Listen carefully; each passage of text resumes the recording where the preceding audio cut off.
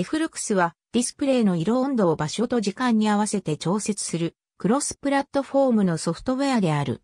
このプログラムは夜間の眼性疲労と睡眠パターンの乱れを軽減することを目的に作成された。暗室モードを使った時 Flux をインストールする際に利用者は地理座標、郵便番号、あるいは地名に基づいて場所を選択する。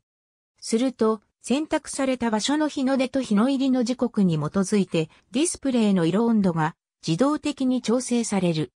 日没時には色温度が徐々に暖色に変化し、日の出時には元の色に戻る。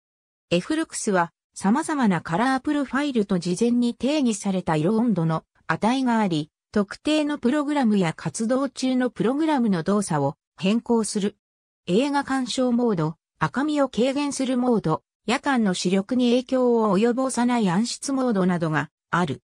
夜間に働く人は Flux でパソコンの時間を昼夜逆転させて昼間にディスプレイを暖色にできる。このプログラムはマイクロソフト Windows、MacOS、Linux で利用できる。iOS でも利用することは可能だが、脱獄する必要がある。ありがとうございます。